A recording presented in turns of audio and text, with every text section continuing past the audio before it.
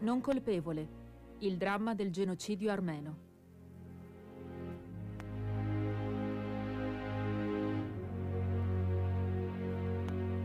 Adattamento radiofonico del testo di Adriano Marcolini. Voci recitanti di Adriano Marcolini, Manuel Bendoni, Silvia Scarabello.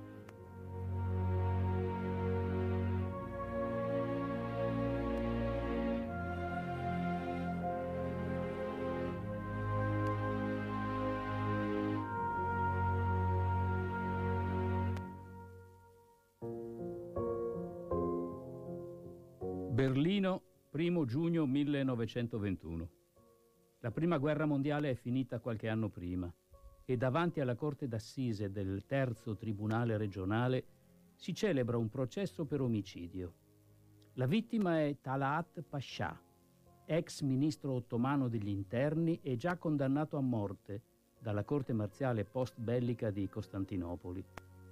L'omicida è un giovane armeno è stato arrestato subito dopo aver sparato ed è reo confesso, ma il processo, apparentemente semplice, assume caratteri non prevedibili per la sorprendente conclusione del dibattimento dovuta alla giuria popolare che come quasi tutto il popolo tedesco ignorava fino a quel momento i fatti accaduti in Turchia, nazione alleata della Germania durante la guerra.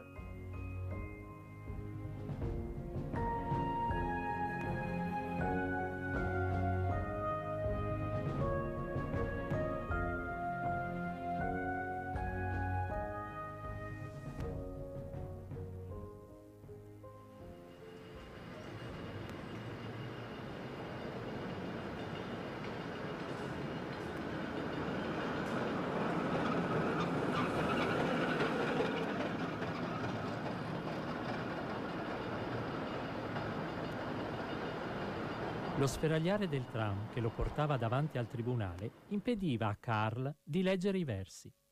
Aveva acquistato quel piccolo libro la sera precedente in una libreria vicino a casa, Poesie armene, la prima edizione in tedesco. Quel mattino Karl non era al suo posto di lavoro alla Siemens. Il tribunale regionale lo aveva invitato a far parte di una giuria popolare. Il processo aveva a che fare con l'Armenia, Turchia quell'impero ottomano che era stato alleato della Germania e ne aveva condiviso la sconfitta. Karl aveva infilato in tasca il libretto pensando di leggere qualche verso durante una pausa del processo. Ma i versi di quelle poesie assumevano significati nuovi man mano che le testimonianze svelavano, su invito del giudice, fatti avvenuti sei anni prima e conosciuti da pochi. Lei si chiamava Cristine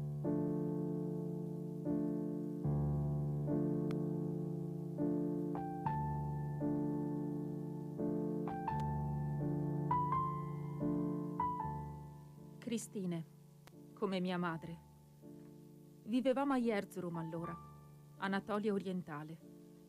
Non sapevamo nulla della notte spaventosa del 24 aprile. Le famiglie armene erano più numerose di quelle turche a Erzurum, ma stavamo in pace fino a quella mattina di giugno. Guardie e funzionari di polizia ci dissero che avremmo dovuto lasciare la città tutti il giorno dopo. In realtà le famiglie turche rimasero in paese. Quella era diventata zona di guerra e la popolazione civile veniva allontanata per essere protetta. Così ci dissero. Saremmo ritornati a pericolo cessato. Raccomandavano di portare con noi denaro, gioielli e altri oggetti preziosi per evitare che le case disabitate venissero svaligiate dai ladri.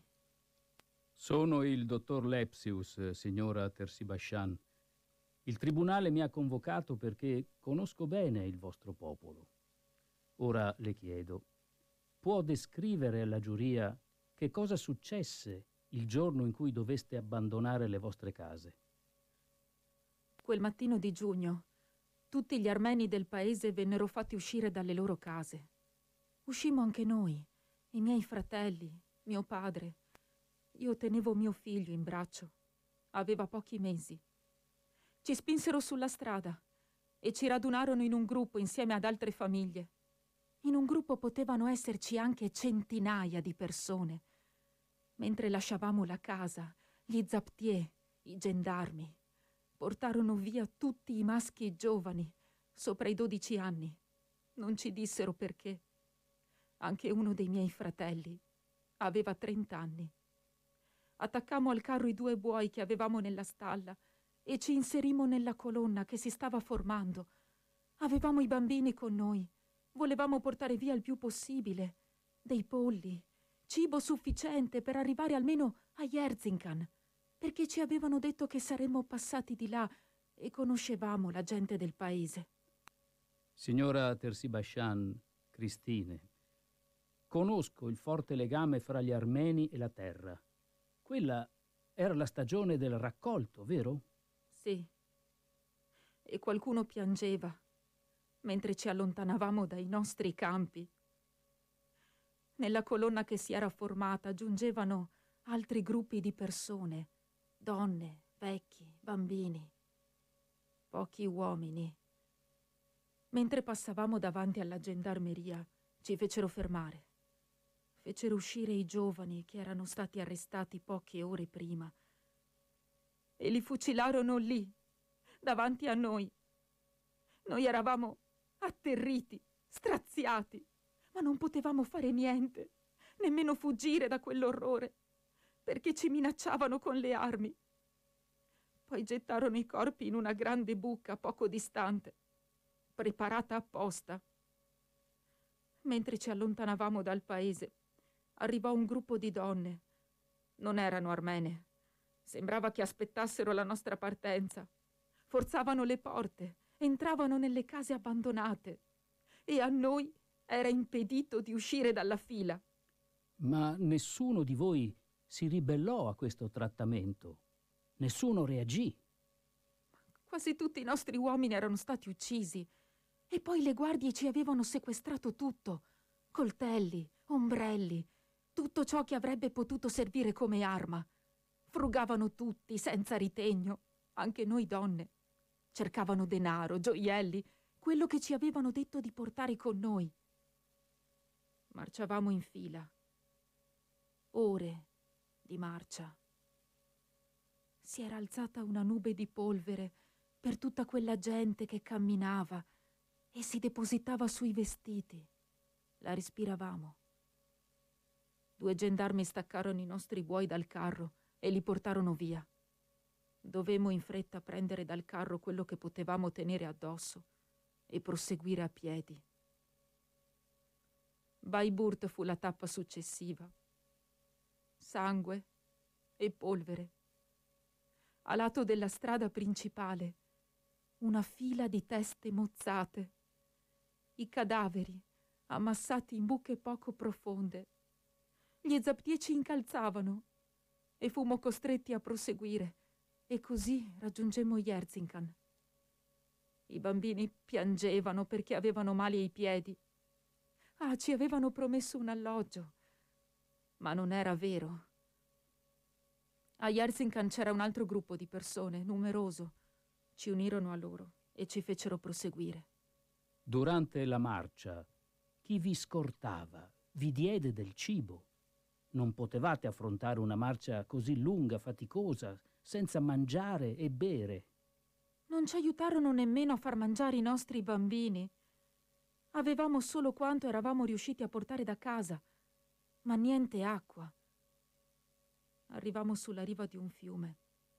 Eravamo assetati, ma ci impedivano di avvicinarci alla riva per bere. Respingevano con i calci dei fucili chi tentava di farlo. Presero dal gruppo alcuni uomini e ragazzi tra quelli che erano rimasti. Uno dei miei fratelli, quello più piccolo, si nascose dietro le donne. Con dei panni riuscì a vestirlo da femmina, così non lo presero. Ma gli altri li legavano insieme a due a due, le mani legate. Li spingevano verso la riva del fiume. La corrente era forte. Nessuno riuscì a salvarsi. Deve essere stato terribile non poter intervenire. Noi piangevamo, urlavamo. Le guardie gridavano per farci stare zitti. Cominciò a far buio e ci fermammo. Nessuno riusciva a stare in piedi. Eravamo stremati e le guardie si misero a girare intorno. Cercavano le donne e le ragazze più belle. Quelle che non volevano venivano trascinate via oppure uccise a colpi di baionetta. C'era una donna incinta tra di noi. Due gendarmi scommisero tra loro chi avrebbe indovinato il sesso del nascituro. Poi con le baionette trafissero il ventre della donna per vedere chi di loro aveva vinto. Uno zaptier mi afferrò per i capelli, voleva trascinarmi via. Io avevo il mio bambino in braccio, mi dibattevo, cercavo di scappare. Allora lui afferrò il mio bambino e lo scagliò lontano.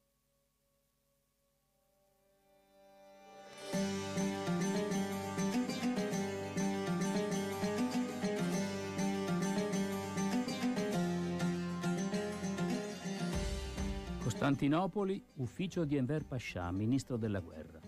Un pomeriggio di maggio 1915.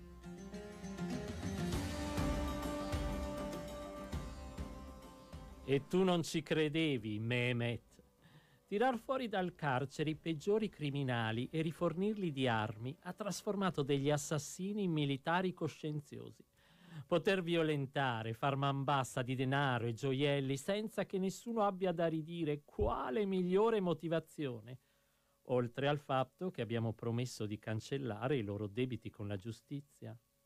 Basta solo stargli lontano, la pulizia personale non è una qualità in cui eccellono. Ah, e non preoccuparti, nessuno dei nostri nemici se ne accorgerà. Abbiamo dato a tutti una divisa, li abbiamo vestiti da zaptier, gendarmi della forza speciale. Suona anche bene. E i tedeschi uh, se ne staranno buoni buoni se vogliono avere il nostro appoggio in questa guerra. Notte ideale, quella del 24 aprile. Costantinopoli era immersa nel sonno. All'alba hanno reagito in pochi, niente violenza. Porgi l'altra guancia. Loro sono così. I poeti e gli scrittori sono avvezzi a usare carta e penna, non fucili e coltelli, e comunque più pericolosi dei soldati armati. Le loro armi sono ciò che scrivono, che scrivevano, fatti fuori quasi tutti. È vero.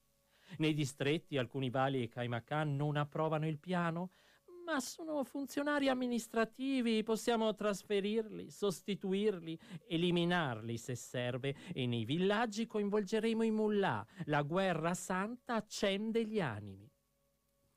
E adesso che la testa del serpente è stata tagliata, sarà più semplice eliminare il resto del corpo. Adesso tocca a te, Talat. è stato arrestato quel deputato che diceva a tutti che lui era amico del ministro. Brutta sorpresa per il deputato.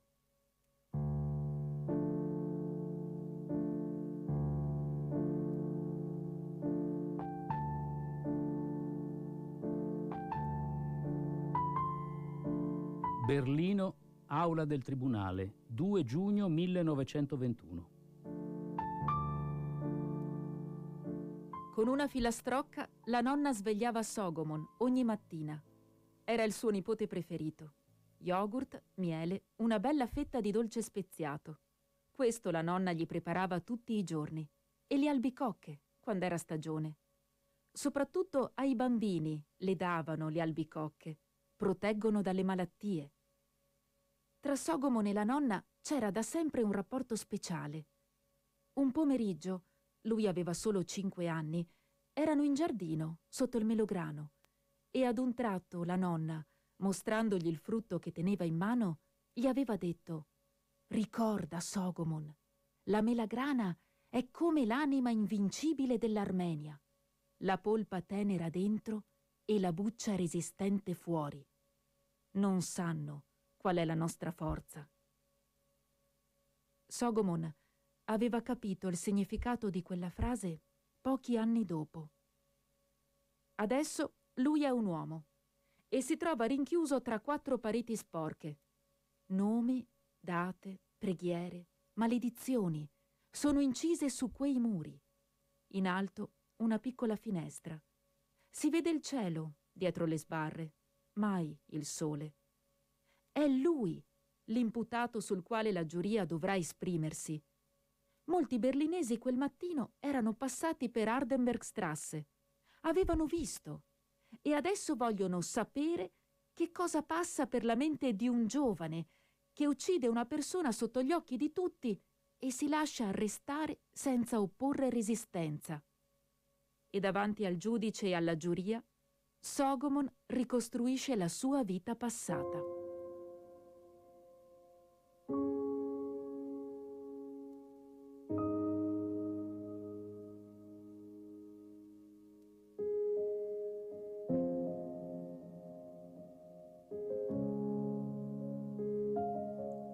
Vivevamo a Erzincan, Anatolia orientale, famiglie turche e famiglie armene. La nostra era conosciuta, stimata, molti amici, anche turchi, serate piacevoli. Si mangiava sempre qualcosa di buono e molti piatti turchi o armeni erano gli stessi. Li chiamavamo con nomi diversi. Mio padre commerciava tessuti preziosi. Aveva la passione del gioco delle carte e come avversario spesso c'era un ufficiale dell'esercito ottomano. Fumavano gli stessi tipi di tabacco. Ogni tanto l'ufficiale veniva fatto vincere. Un'amicizia così valeva bene una perdita al gioco. Una volta avevano arrestato mio padre, per motivi futili, ma destinato a passare brutte ore in carcere, ma era stato liberato quasi subito per intervento di quell'ufficiale. Con gli amici turchi le solite schermaglie. Un armeno che ruba una mela è un criminale, mentre se lo fa un turco quello è solo uno sbadato. I soliti scherzi tra amici. Ma io avevo impresse nella memoria le parole di un vecchio che ricordava atti di crudeltà verso gli armeni ai tempi del sultano rosso. E quando avevo chiesto spiegazioni ai miei genitori, avevo ricevuto risposte vaghe. Bisognava fidarsi del nuovo governo, giustizia e rispetto per tutti, aveva promesso turchi, curdi, armeni. Anzi, la milieta armena era considerata la più fedele tra i gruppi che popolavano l'impero. Avevamo una scuola nostra a Erzincan e celebravamo in chiesa la messa e gli altri riti religiosi. Solo la nonna, quella volta, mi aveva guardato a lungo negli occhi ed era uscita dalla stanza, senza dire nulla. Le testimonianze sono tessere di un unico mosaico, riempono l'aula, ne superano i confini e raggiungono anche chi non sapeva o chi fingeva di non sapere, come aprire una porta che si spalanca sul deserto.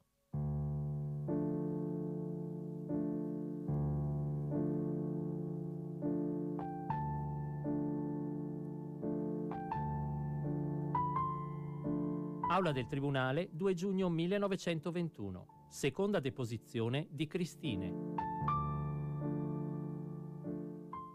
Il deserto a perdita d'occhio. Rocce, pietre, rari arbusti. Fermi, accampati senza riparo, senza acqua, senza nulla da mangiare, al limite della sopravvivenza. Il sole stava tramontando e tutti cercavamo di stare vicini gli uni agli altri per difenderci dal freddo della notte.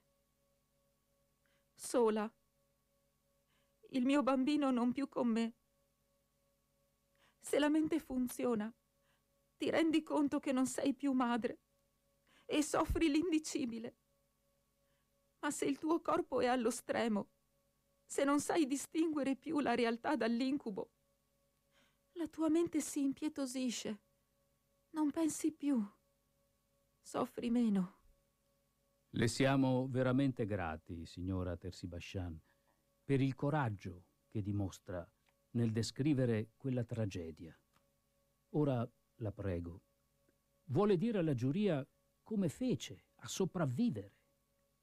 Mi mescolai ad un gruppo di persone, approfittando del cambio di guardia.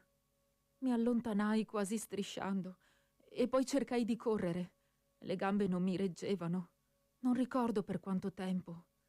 Ad un certo punto intravidi una casa, a poca distanza. Non era ancora completamente buio. Una famiglia di contadini, turchi, ma mi accolsero. Quella gente mi sfamò e potei riposare. Ma li avrebbero fucilati se mi avessero trovato lì e mi pregarono di andarmene al più presto. Il giorno dopo non c'era anima viva intorno. Ero convinta di essere sfuggita agli zaptier, ma all'improvviso un rumore di zoccoli alle mie spalle, un ufficiale a cavallo, urlava la sciabola sguainata, pensavo che mi uccidesse. Ma lui fermò il cavallo e senza scendere mi costrinse ad inginocchiarmi a gridare Viva Talat Pascià! Allah lo protegga perché mi permette di rimanere in vita. Poi se ne andò, dopo aver indicato alle guardie dov'ero. Non mi punirono per la fuga, ma dovetti riprendere il cammino. Continuavo a spingermi avanti, come un automa. Una signora anziana davanti a me mise un piede in fallo e cadde. Mi fermai un momento per aiutarla, ma uno zaptier mi costrinse a proseguire. Non dimenticherò lo sguardo di quella signora mentre la colonna si allontanava.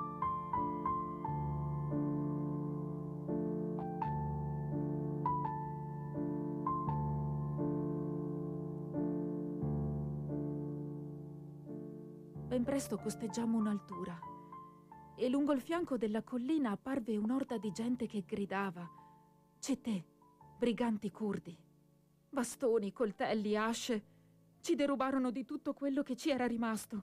Strappavano alle ragazze gli orecchini dai lobi delle orecchie. Afferravano le più belle.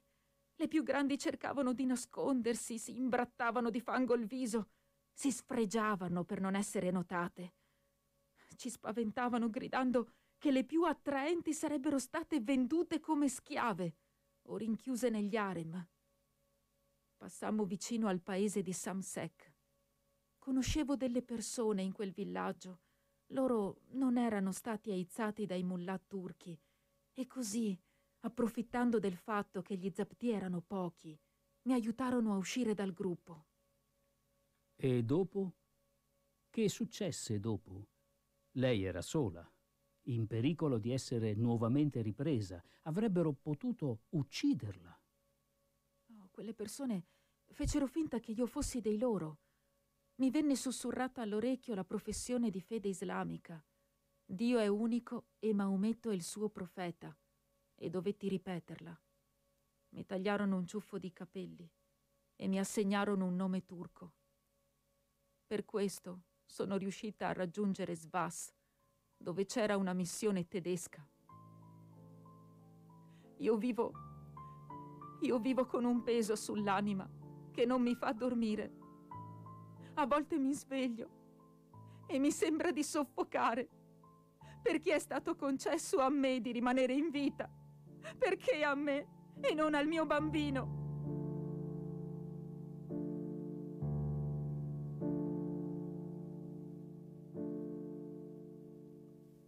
Fine della prima puntata.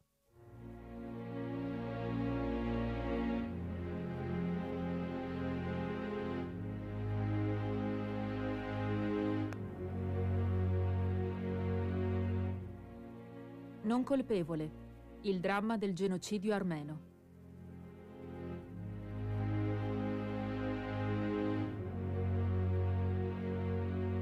Adattamento radiofonico del testo di Adriano Marcolini. Voci recitanti di Adriano Marcolini, Manuel Bendoni, Silvia Scarabello.